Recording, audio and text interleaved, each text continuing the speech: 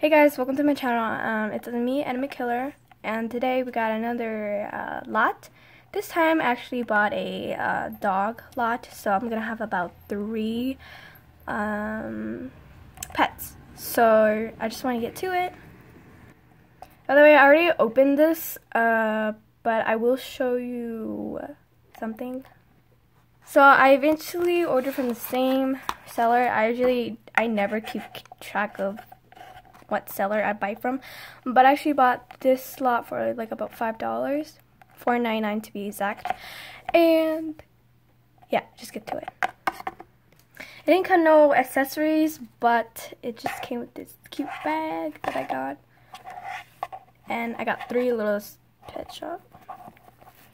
Now, like I said, I already opened it. And I already took the LPS out. But first we have, okay, I'm just now. First pet I want to show is this one. I don't know what kind of, I forgot what kind of dog this is, but just let me know. um, some of these pets are actually dirty, so I had to wash it, but this one was fine. It just has like a little chip on its like mouth, but that's okay. And it has initials on it, and it's red magnet. magnet. The next one is the Saint Bernard.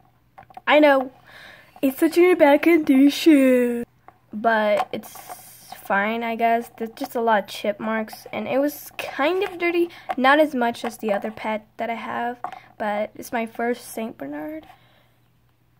If I, I think this, oh yeah, the head is really wobbly, so yeah. Um, yeah, just a Saint Bernard my first one. Last but not least, this uh, German Shepherd, yeah. I actually kind of knew I was going to get one because in the picture it advertised a German Shepherd also. And I think it advertised this pet too, but I don't remember. But yeah, it's a red magnet.